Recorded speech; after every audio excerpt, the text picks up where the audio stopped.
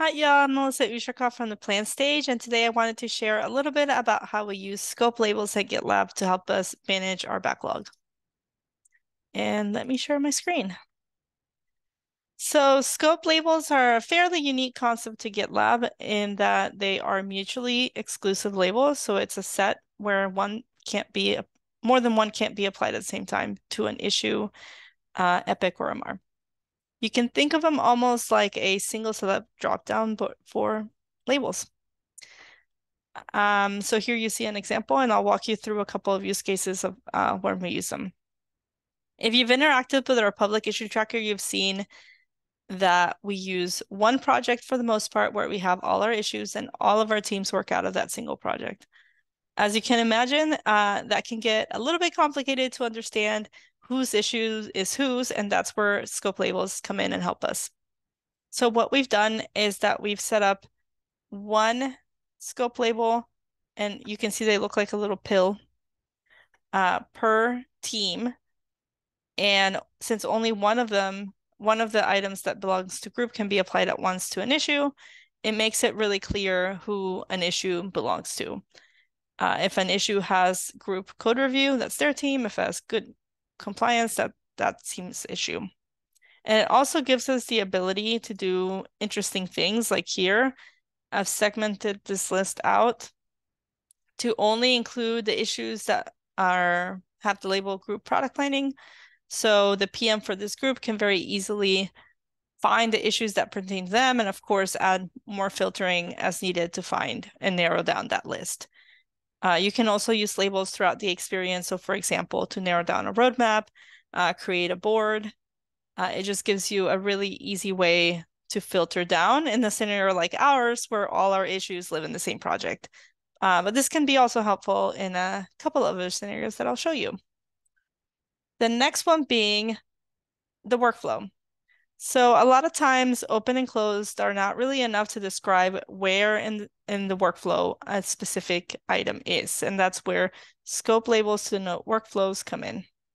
So here you can see uh, we've defined a set of different states and created labels that go along with it.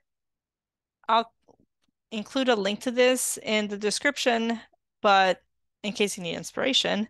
But here you see in our handbook, our product development flow. So it's a set of steps that work must go through in order to be complete. And each of the steps has a label that goes along with it. And we've set up these labels at the group level, both for groups and um, workflows, so that all projects underneath inherit them and it makes it really easy to manage.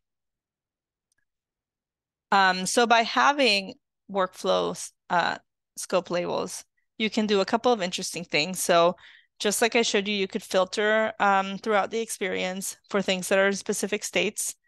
But you can also do something like this where you can create uh, columns on a board to signify the different states. Uh, this specific board is a board for uh, delivery. So it's an abbreviated version where we're only looking at things that are in planning breakdown, close to being ready for the team. And you can see them going through the life cycle. As if you're working collaboratively, you can move these across and it will change the workflow. And it really gives you that nice Kanban view of what a team's working on. There's also another version of this that is more for the discovery workflow states. Um, so if you're running dual track agile, you can have two different boards, one for your discovery, so where you're refining solution validation, problem validation, and then here where it's more delivery focused. Another use case that I'll walk through, but I won't show you the screen for privacy reasons, is around severity. Um, so severity is another scope label that we use um, throughout the experience of, of our issue tracker, where for security and um, bugs, you can apply a severity label. So you can define your own policy about what's step one, two, three, four. That's what we've done.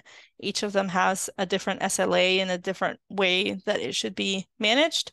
So what we do is for bugs and security issues, they're all get assigned a severity. Again, they're mutually exclusive.